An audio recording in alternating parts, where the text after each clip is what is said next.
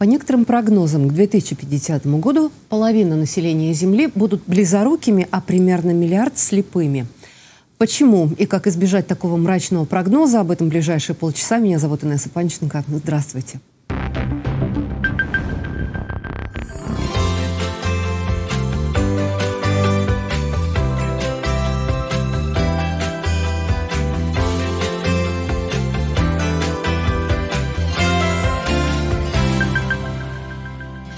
Программа выходит при поддержке Министерства здравоохранения Самарской области, Самарской областной ассоциации врачей и информационной поддержки журнала «Личный врач». Итак, это программа «Звоните доктору». Сегодня мы смотрим сквозь прозрачный хрусталик. Дежурный врач нашей скорой телевизионной помощи. А, целый доктор медицинских наук Андрей Золотарев, хорошо известный, я думаю, всем нашим зрителям. Это главный врач больницы Ярошевского, это заведующий кафедрой офтальмологии Самарского государственного медицинского университета, э, это главный внештатный специалист, главный офтальмолог Минздрава Самарской области. Ну вот, все, почти все перечислила, да, здравствуйте. А, мы работаем в прямом эфире 202 11 22. Сегодня речь пойдет, ну, уже понятно, что да, о проблемах э, зрения, о глазных болезнях. Андрей Владимирович, вот по статистике Минздрава нашла такую, что 20 э, миллионов россиян, то есть получается, что каждый седьмой имеет проблемы со зрением. И будто бы э, лет 15 назад таких проблем не было. То есть э, прогрессирует вот эта вот статистика. Э, так ли это и почему? Ну, в значительной мере так. Заболеваемость глазными болезнями растет. Мы это видим по отчетам год от года. А, не всеми заболеваниями как бы в одинаковой степени, но заболеваемость увеличивается. Это и глаукома, и катаракта, а, и заболевания сетчатки. Но первое место занимают, а, к счастью, достаточно легкие заболевания, то есть воспаление слизистой оболочки глаза, конъюнктивиты вызваны разными причинами, там, будь то вирусами или микробами, и нарушение рефракции, то есть различные проблемы, требующие оптической коррекции. Это основные заболевания. Ну, а можете как-то прогнозировать все-таки, почему идет а, ну, рост? Если говорить о нарушениях рефракции, а в первую очередь о таких состояниях, как близорукость, или уже э, такой знакомый уже термин, как школьная близорукость, термин говорит сам за себя. Повышение зрительной нагрузки, избыточная зрительная нагрузка, несоблюдение гигиенических правил, э, избыточные требования к работе глаза – приводит к тому, что э, организм начинает приспосабливаться к изменившимся условиям, и рассмотрение мелких предметов на близком расстоянии вызывает перегрузку зрительного анализатора всего. Это не только глаза. Глаз – это часть мозга, вынесенная на периферию. А, то есть это нагрузка и на глазное яблоко, на зрительный нерв, на кору, э, на, на зрительный отдел коры головного мозга. Все в комплексе это приводит к тому, что организм перестраивается на более комфортную работу в тех условиях, которые ему чаще всего приходится встречать. Поэтому, если человек всю жизнь, э, несколько лет последних рассматривает что-то вблизи, особенно если это маленький экран смартфона, например, да, особенно если с не очень э, качественным экраном, с большими видимыми пикселями, эта нагрузка приводит к тому, что организму удобнее, комфортнее, эргономичнее перестроить э, зрительный анализатор на работу вблизи. Вот. Но Платой за это будет ухудшение зрения вдали. Возрастная близорукость растет. Растет она в первую очередь в тех э, условиях, в тех странах, э, где люди чаще и больше именно сталкиваются со, со зрительной нагрузкой. Ну, мне кажется, сейчас везде уже, ну, может быть, в Африке, ну, не знаю, везде. в меньшей степени там как-то. Э, знаете, пришло сейчас что в голову, когда вы говорили про маленький экран. Мы же очень трепетно относимся к выбору солнцезащитных очков. Нам надо, чтобы была стопроцентная защита, чтобы были антибликовое покрытие. А вот, наверное, при выборе телефона тоже, наверное, стоит думать о чем-то таком, да? Ну, думать надо. Э, последние годы получены достаточно убедительные научные данные о том, что коротковолновая часть спектра, а именно голубые, синие, фиолетовые лучи э, при э, большой яркости могут оказывать неблагоприятное действие на сетчатку глаза. Да и оказывают. И оказывают.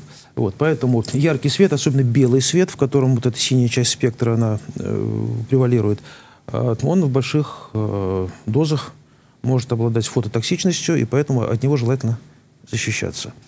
А в продвинутых смартфонах, например, несколько лет э, рекомендации офтальмологов наконец-то были учтены. Неужели? Да, и э, есть э, два режима освещения экрана, дневной и ночной. Дневной более белый, ночной угу. более желтовато-бежевый слегка.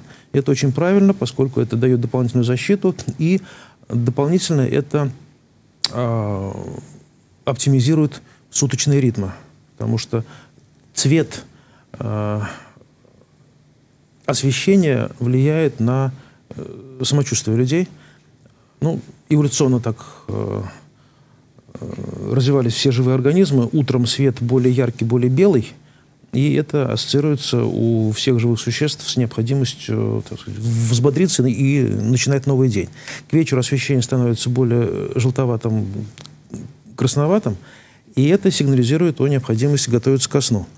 И поэтому... То есть я вот вечером прибавляю яркость э, в гаджетах, это неправильно? Ну, если у вас э, хороший гаджет, то он сам э, вам порекомендует немножко ее снизить и добавить слегка желтовато-коричневый оттенок, Мы чтобы сни- спорим, снизить нагрузку да? на сетчатку.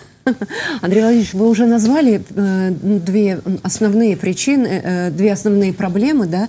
Это вот конъюнктивиты, вы сказали, рефракция. Это э, эти проблемы касаются э, только нашего региона. Есть какая-то у нас специфика? Вот кто у нас все-таки и чем чаще всего страдает в вашей области? Ну, у нас э, больших отличий от других регионов Российской Федерации и мира у нас немного – и в основном они э, количественные связаны с тем, что ну, есть такой термин э, заболеваемость различными болезнями, в том числе и глазными, оно, она учитывается, так скажем, по обращаемости. То есть если человек обратился с какой-то проблемой, то он в статистику входит. Если он болеет, но не обращался никуда, то он в статистику не входит. И поэтому в тех регионах, где доступность э, офтальмологической помощи ниже, в них и заболеваемость ниже. Но это не потому, что там меньше болеют, а потому что там просто меньше выявляют заболевания. Но, с другой стороны, если это заболевания такие, которые, в общем-то, не вызывают больших проблем, э, ну, с тем же там, хроническим блефоритом или с конъюнктивитом, он причиняет определенные неудобства, но не заставляет человека обращаться регулярно к офтальмологу. Люди, может быть, и живут спокойно годами, особо-то не переживают. Поэтому от региона к региону статистика может немного меняться. У нас она отличается тем, что у нас заболеваемость на там, 10, 15 до 17 процентов выше, чем в других регионах Российской Федерации.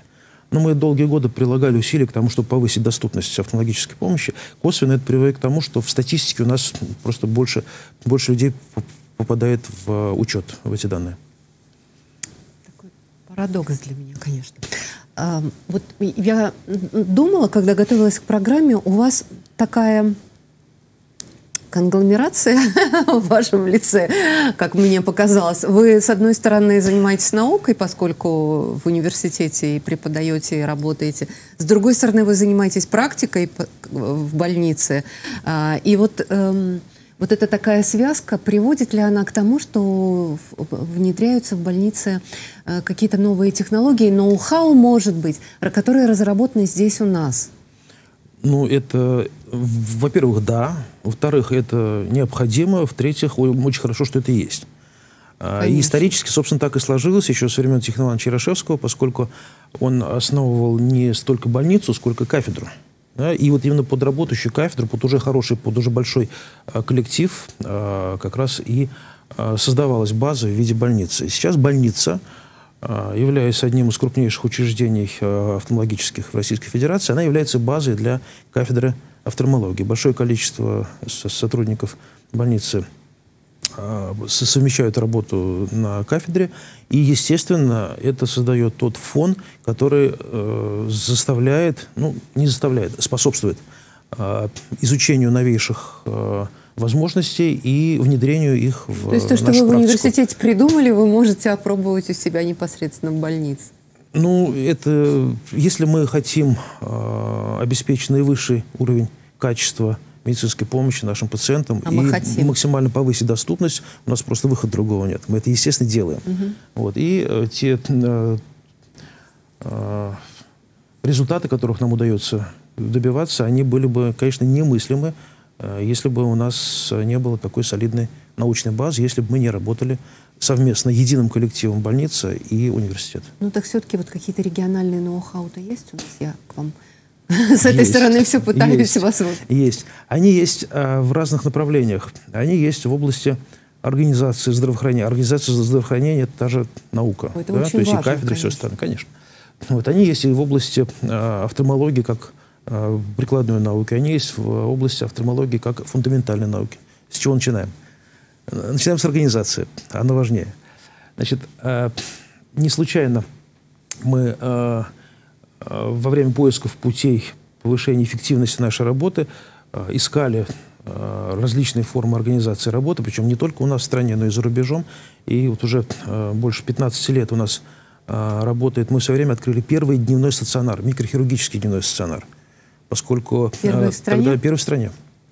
Поскольку тогда э, глазные заболевания хирургические лечились исключительно в круглосуточном стационаре, а в то время во всем мире уже э, большинство операций делалось амбулаторно. И вот эту новую форму работы, э, ну, пришлось достаточно много перелопатить э, литературы научной, методически написать много достаточно документов. И мы организовали этот стационар, и, и э, из одного из пяти больших отделений больницы э, он превращается сейчас чуть ли не в основной по объемам. По крайней мере, на предстоящие годы у нас объем хирургии в дневном стационаре уже превышает объем хирургии в круглосуточном стационаре. И это правильно, это прогрессивно, это более эффективно, потому что э, лечение в дневном стационаре просто дешевле на 15-20% с тем же результатом, может быть, даже лучше. Мы за э, те же деньги э, территориального фонда э, медицинского страхования пролечиваем больше пациентов. Более высокая эффективность. Э, эффективность, доступность, э, организация э, потребовалась и при э, создании мобильных автоматических комплексов. Мы с ними работаем тоже 7 лет уже практически. Новая форма работы тоже мы были первые в Российской Федерации. Очень эффективно, очень удобно, очень хорошо. Но именно в, именно в плане организации. Вот есть определенное э, ноу-хау и в плане технологий, и в плане фундаментальных исследований. Ну, можно подробнее при желании да, да, осветить поговорить. все это. Да. Андрей Владимирович, давайте сначала со зрителями пообщаемся. Mm-hmm. Алло, здравствуйте. Здравствуйте. Да, слушаем у вас. У меня вопрос. У меня очень плохое зрение, дальнозоркость. Э, ну, с детства, собственно, но с каждым годом увеличивается и увеличивается. То есть становится все хуже и хуже. Сейчас уже один глаз 4,5, другой 5,5. И я очень хочу сделать лазерную коррекцию, но вот как-то сомневаюсь, потому что много разной информации, говорят, после нее бывают осложнения, и что через некоторое время э, в любом случае зрение снова упадет, может упасть и вернуться к тому, с чего начинали. Так ли это? Вот это прекрасный вопрос, который я тоже надеялась хороший вам задать. Вопрос, хороший вопрос. Но здесь тоже касается дальнозоркости. Здесь э, особая ситуация. Дальнозоркость э, – это, э, так скажем, анатомическая несоразмерность глаза. Э, при дальнозоркости, ну, это врожденное состояние, глаз обычно чуть меньше по размеру, чем среднестатистический, а хрустали в глазу чуть больше по размеру. И вот эта вот несоразмерность, она, э, так сказать, в раннем возрасте она не проявляется – значит, становится заметно где-то лет там, в 20, 25, 30, а там годам к 30, к 40 уже начинает проявляться очень серьезно.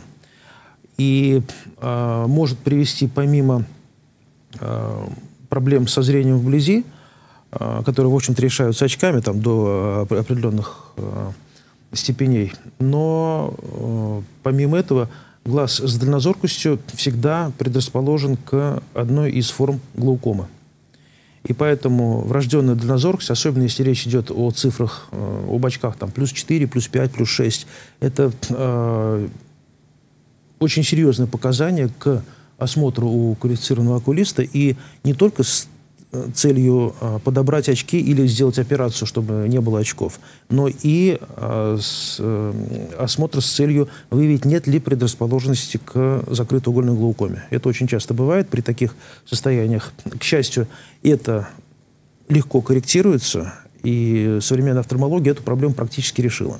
Какой конкретный метод коррекции дальнозоркости вам выбрать, желательно будет э, определить после осмотра, после консультации. Современные средства это позволяют сделать. Сейчас приборы очень хорошие, высококачественные. Э, возможно коррекция эксимерным лазером, возможно операция по замене хрусталика, и она, несмотря на то, что она более объемная, она может быть гораздо более удобной для пациента в послеоперационном периоде.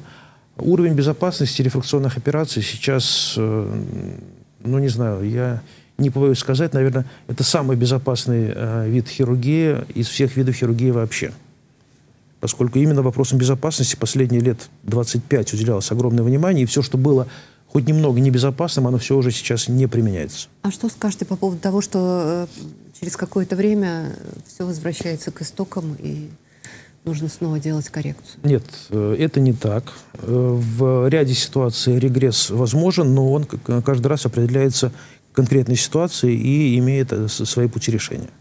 Поэтому здесь рефлекционная хирургия на сегодняшний день – это очень хорошо разработанная область офтальмологии с хорошо просчитываемыми, хорошо, прогнозируемыми э, результатами, и процент каких-то проблем после операции он гораздо меньше, чем при очень многих других видах э, хирургического лечения. На этой неделе очень активно в информационном пространстве обсуждалась новость э, о том, что ваши больницы прооперировали пациента из Волгограда. Давайте сначала посмотрим сюжет – да. Потом я расспрошу вас.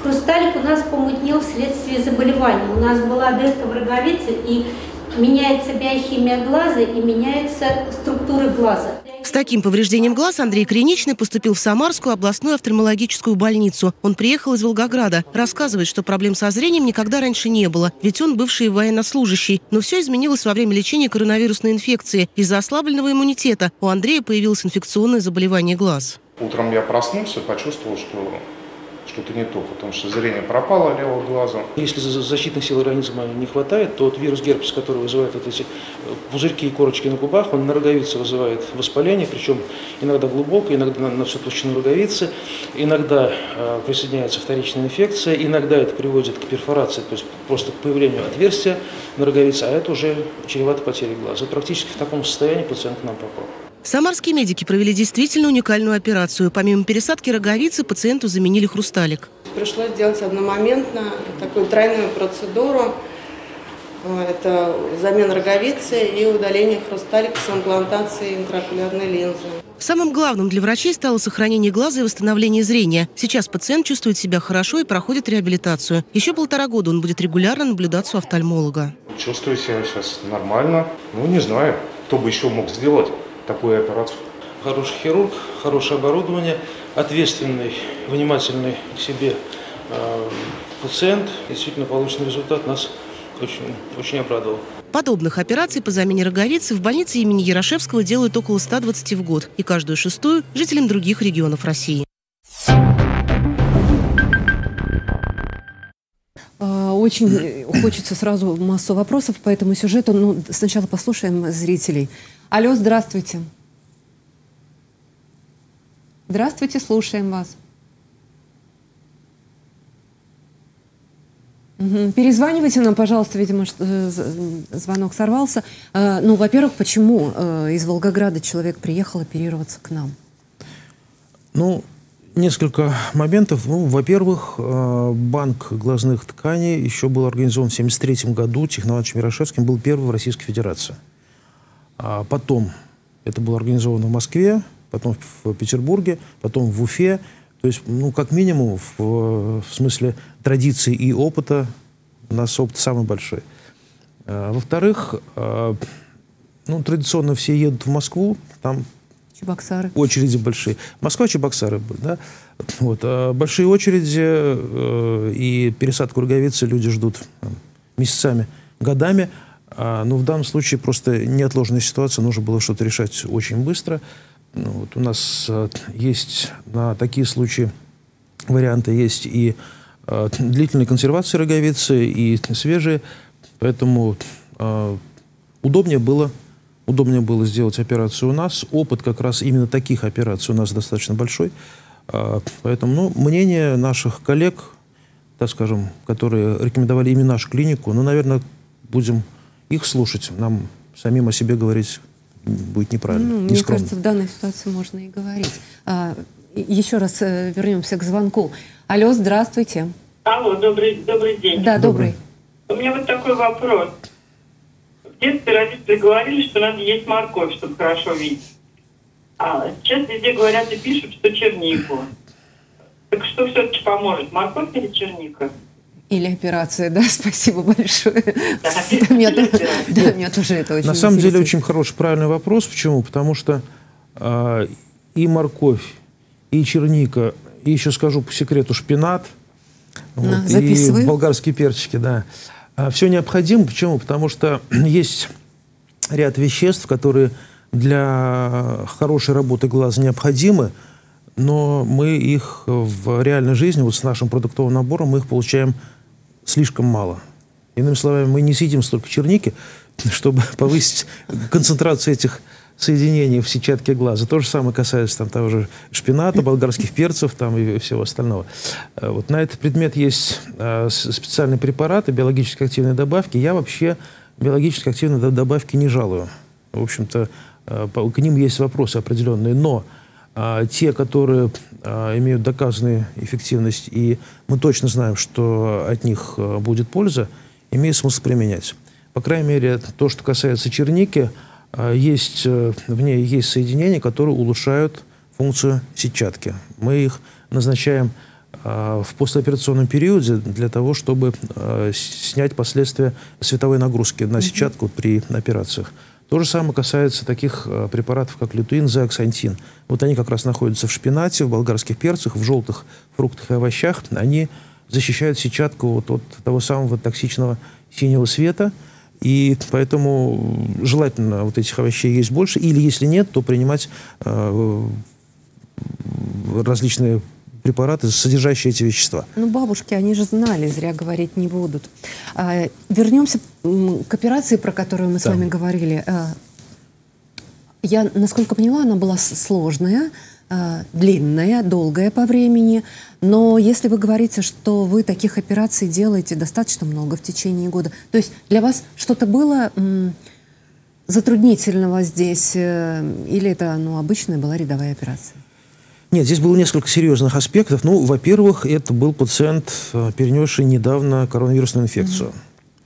Вот, все мы знаем, что, к сожалению, все это бесследно не проходит, и после перенесенной, перенесенного вируса э, достаточно долгое время человек себя ощущает не лучшим образом, причем у разных людей по-разному. Вот у него коронавирус спровоцировал обострение э, герпес-вирусной инфекции, которая вызвала серьезное, очень серьезное э, воспаление роговицы привело к ее перфорации. Ситуация стала неотложная, срочная. Необходимо было операцию делать быстро. И это, естественно, накладывает дополнительные э, ограничения на работу хирурга. Обычно, когда пересадку роговицы приходится делать вот по таким по неотложным показаниям в спешном порядке, мы э, в первую очередь ведем речь о спасении глаза. Ну, в роговице глаза появляется перфорация, отверстие уже срочно надо закрывать. Тут уже как бы недозрение, поэтому а, общепринятая практика в мире быстро загерметизировать глаз, вылечить, ну, а там посмотрим, что называется, да. Вот мы стараемся делать это по возможности сразу, поскольку у нас есть э, свежие роговицы, есть из которых, э, которые можно выбрать как бы наиболее перспективные по жизнеспособности, по перспективности. Мы стараемся делать все-таки по возможности за один этап, чтобы не делать потом несколько операций. И получилось вот пока, по крайней мере, вот через месяц после операции у пациента очень хорошее зрение, роговица прижилась э, полностью э, прозрачное, зрение очень хорошее, мы даже такого результата не ожидали. И плюс, что еще ну, удачно Валерьевне хирургу удалось сделать, это в ходе операции очень технично, атравматично удалить помутневший хрусталик и поставить искусственный хрусталик. То есть, в принципе, этому пациенту удалось, ну да, это заняло два часа с лишним, но удалось сделать все сразу. Мы э, его избавили от дополнительной операции, результат обеспечили сразу. Это, пожалуй, была из э, основных особенностей операции, но, в общем-то, очень, очень удачно и хорошо. Мы вот в этой студии очень много говорили про ковид в течение года. И, честно говоря, впервые э, обратились к теме осложнений именно на зрение. Э, То есть, честно говоря, не думала, что и в этом плане может э, могут быть проблемы. А вот э, если коронавирус э, может дать осложнение э, на какие-то хронические вот моменты, которые у человека уже есть, ну, например, разбудить глаукому, это возможно? Маловероятно. А в основном коронавирус сейчас известен как заболевание, нарушающее систему э, свертывания крови, помимо всех остальных неприятностей. И поэтому те состояния, которые э, сопровождаются или э, вызываются нарушением свертываемости, такие как, например, тромбоз вен сетчатки, например, или э, не знаю, неврит зрительного нерва, вот такие вещи, они могут э, возникать чаще после коронавирусной инфекции. У нас таких пациентов э, стало несколько больше, но, к счастью, не в разы. Мы боялись, что будет хуже более-менее прилично. Сейчас мы подсоберем статистику, посмотрим, посчитаем, что получается не сказать, что их стало уж очень много, но количество таких состояний несколько увеличилось. А, у нас, к сожалению, остается прям буквально полторы минутки до конца эфира, и, наверное, мы с вами не успеем поговорить про профилактику. Я сейчас это к чему говорю, что вам все-таки надо прийти к нам еще раз, да, потому что Хорошо. тема Нет, большая успеем, и очень успеем. важная. Да. А, а скажите, пожалуйста, вот вы говорили, что во время операции этому пациенту из Волгограда речь шла о сохранении глаза вообще. А вообще, возможно, мы когда-нибудь придем к пересадке глаза? Ну, я надеюсь, что нет, потому что, еще раз, э, глаз как бы по всем э, академическим формулировкам, это часть мозга, вынесенная на периферию. Когда нам удастся присоединять к мозгу какие-то дополнительные устройства, ну вот разрабатываются системы нейроинтерфейса, может быть, может быть, пересадка глаза пока из области фантастики. Но любая обычная быль в свое время была фантастикой, а потом стала былью. Посмотрим. А, а отсутствие хирурга на операции можем мы когда-нибудь доверить это а, технике? роботизация офтальмохирургии сейчас уже идет. Буквально пару лет назад я а, попробовал на выставке поработать с роботом, с офтальмологическим. Ну, пока достаточно криво, немножко неуклюже, но прогресс не стоит на месте. Я думаю, лет через 5-7 через это будет уже достойно, если не альтернатива, то достойной помощи хирургу. Андрей Владимирович, огромное спасибо, что вы пришли к нам в студию. Спасибо. Вам удачи в работе, а с нашими зрителями прощаемся ровно на неделю. До свидания.